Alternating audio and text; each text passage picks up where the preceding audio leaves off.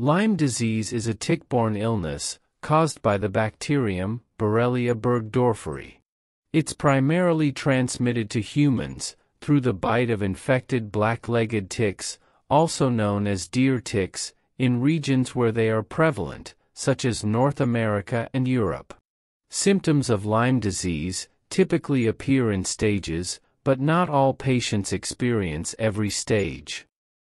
Early stage also known as localized Lyme disease. Symptoms may occur within days to weeks after being bitten. Characterized by a distinctive circular rash, known as erythema migrans or EM rash, often resembling a bullseye pattern. This rash expands slowly over days and can reach sizes up to 12 inches across. Flu-like symptoms, such as fever, chills, fatigue, headache, muscle and joint aches, may also occur. Intermediate stage or early disseminated Lyme disease occurs if the infection is not treated promptly. Symptoms may include multiple EM rashes, neurological symptoms such as facial palsy or meningitis, heart palpitations, and joint pain. Late stage or late disseminated Lyme disease can occur weeks to months after the initial infection, if untreated. Symptoms may include severe headaches, arthritis with severe joint pain and swelling, neurological problems, such as shooting pains, numbness or tingling in the hands or feet, and heart palpitations. Diagnosis of Lyme disease can be challenging due to the varied symptoms and the fact that not everyone develops the characteristic rash. It usually involves a combination of clinical evaluation, like symptoms and medical history, and laboratory tests such as blood tests for antibodies against Borrelia burgdorferi. Treatment for Lyme disease typically involves antibiotics.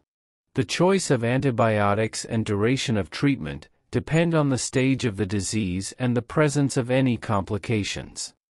Early treatment is highly effective, and usually leads to a complete recovery.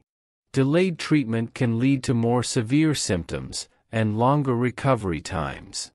Oral antibiotics are usually prescribed. Commonly used antibiotics include doxycycline, amoxicillin, or cefuroxime.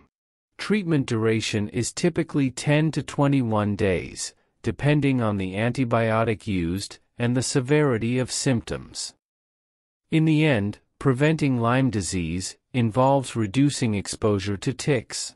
Avoid wooded and bushy areas with high grass and leaf litter. Use insect repellent that contains 20% or more DEET, picaridin, on exposed skin. Wear long sleeves and pants tucked into socks or boots when in wooded or grassy areas. Perform tick checks after spending time outdoors and promptly remove ticks.